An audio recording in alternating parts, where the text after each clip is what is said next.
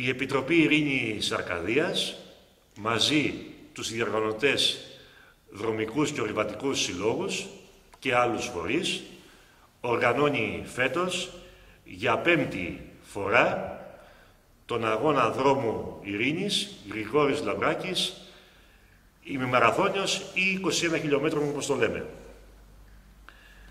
Ε, φέτος έχει μια ιδιαίτερη αξία η σημερινή διοργάνωση γιατί συμπληρώνονται 60 χρόνια από τη στιγερή δολοφονία του αγωνιστή και μάρτυρα της ειρήνης Γρηγόρη Λαμπράκη.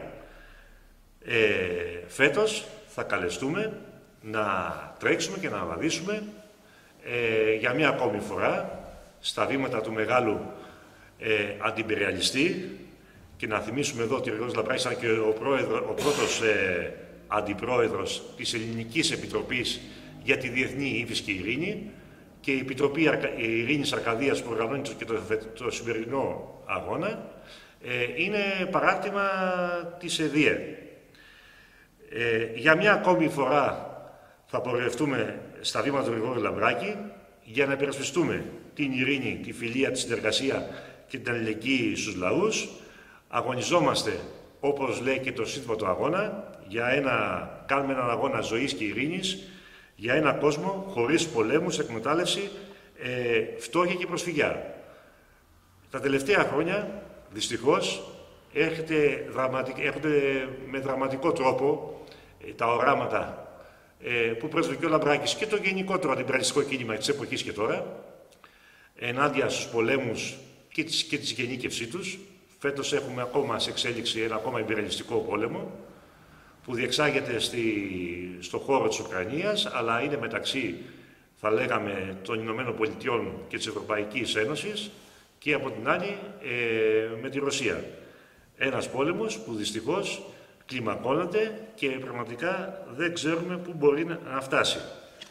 Όπως πάντα, θύμα είναι όλοι οι λαοί και των εμπλεκόμενων χωρών, αλλά και όλων ε, των χωρών του κόσμου, που είτε συμμετέχουν ε, στον πόλεμο ενεργά, είτε το στηρίζουν, ε, οι λαοί πάντα πληρώνουν το μάρμαρο.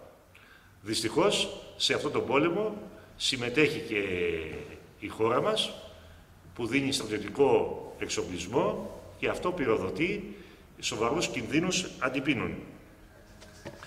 Εμείς θέλουμε και παλεύουμε η χώρα μας να μην εμπλακεί άλλος σε αυτό το πόλεμο, να μην με δίνει στρατιωτικό υλικό και να συμβάλλει έτσι ώστε να σταματήσει και ε, για να πραγματικά να, όλοι οι λαοί να έχουν ειρήνη και να πάψει αυτή η καταστροφική πολιτική. Ο πόλεμος εξάλλου δεν είναι θέαμα, είναι καταστροφή, χάνονται ζωές, ιδιαίτερα νέοι άνθρωποι και από αυτή την άποψη νομίζω ότι το μέλλον της εποχής, το μέλλον των ανθρώπων πρέπει να είναι εντελώς διαφορετικό.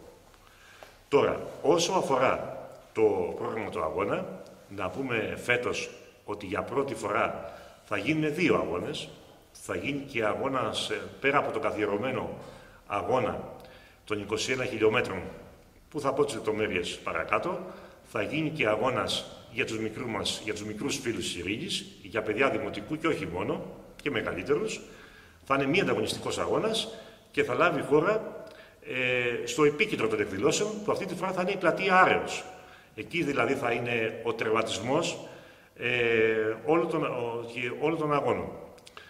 Τώρα, ε, να πούμε ότι ο αγώνας θα γίνει στις 6 ώρα, θα, θα κινήσει στις 6 ώρα το απόγευμα των 21 χιλιόμετρων από το γνωστό χώρο, στο πάρκο των Αλίγιστων, που να πούμε εδώ ότι πρόσφατα πάρθηκε στο Δημοτικό Συμβούλιο της Τρίπολης μια πολύ σημαντική απόφαση αυτός ο χώρος να αγοραστεί και να αποτελέσει ε, πάρκο αθλοπαιδιών ε, και μνήμης. Και αυτό για μας είναι πάρα πολύ ε, σημαντικό. Και ξεκινώντας λοιπόν από αυτό το χώρο, θα κατευθυνθούμε στους δρόμους ε, της Τρίπολης με κατεύθυνση την Κερασίτσα Τεγέας και από εκεί με, προς το στάδιο ε, και από το στάδιο επιστροφή πάλι προς Τρίπολη μέσω του Αγίου Σώστη από τη μεριά του κέντρου αποκατάστασης και του νεκροταφείου θα βγούμε πάλι μέσα στην Τρίπολη Αλλά να πω και για μια ακόμη φορά, ο τραυματισμός θα γίνει ε, στην πλατεία του ε, Άρεος.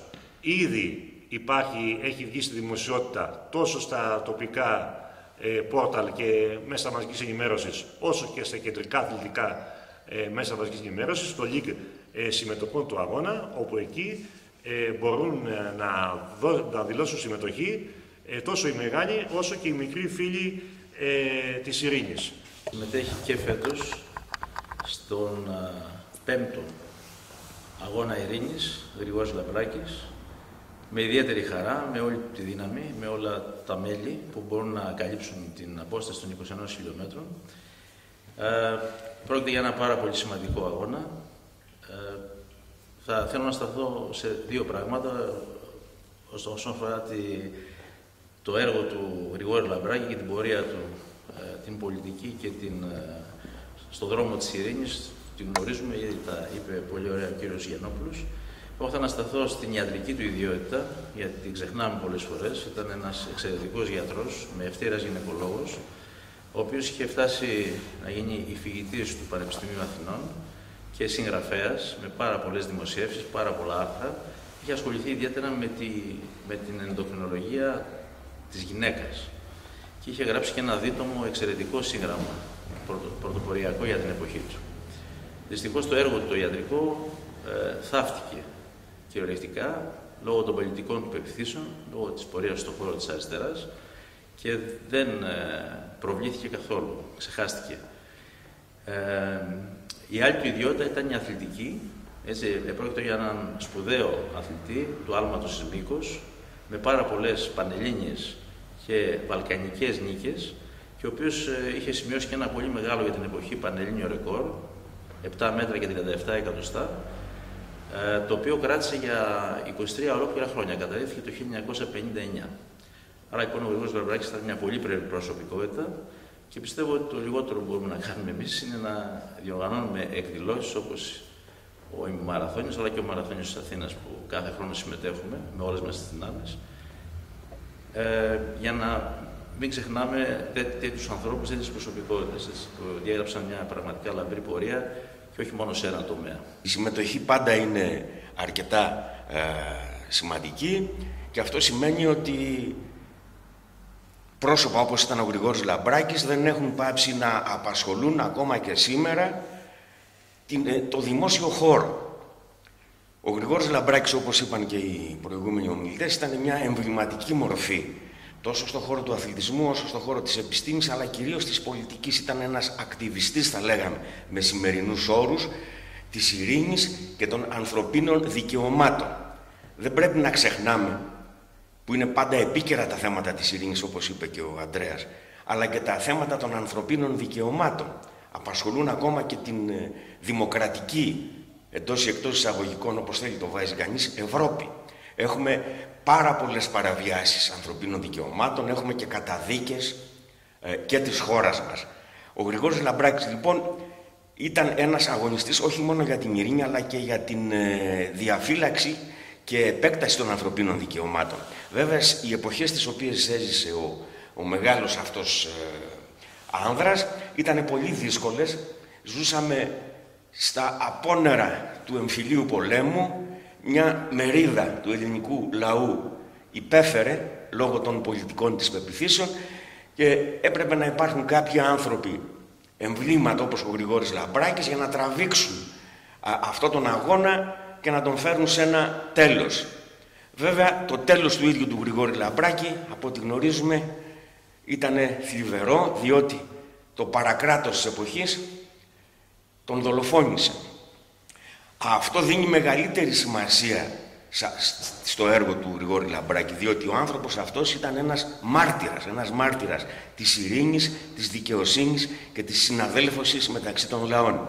Έχουμε χρέος εμείς ως συμπατριώτες του κιόλας να τιμούμε με όποιον, τρόπο, με, όποιον πρόσφορο τρόπο υπάρχει τη μνήμη του και να θυμίζουμε στις νεότερες γενιές τους αγώνες των προηγούμενων γενεών για να ζούμε σε ένα καθεστώς δημοκρατίας, ισότητας και εν γέννη ειρήνης. Και θα κλείσω με μια ρίση, ίσως γνωστή και χιλιοϊπωμένη, αλλά η οποία είναι πάντα επίκαιρη. Ε, ο Μίλαν Κούντερα, ένας μεγάλος τσέχος συγγραφέας, έχει πει το εξής, το οποίο μας εκφράζει τουλάχιστον εμάς σαν σύλλογο απόλυτα, ότι ο αγώνας των λαών ενάντια σε οποιαδήποτε μορφή εξουσία είναι ο αγώνας της μνήμης ενάντια στη λύθη. Η λύθη λοιπόν δεν πρέπει να σκεπάσει με κανένα τρόπο εμβληματικές προσωπικότητες όπως ο Λαμπράκης και πρέπει ο αγώνας αυτός να κερδιθεί υπέρ της μνήμης.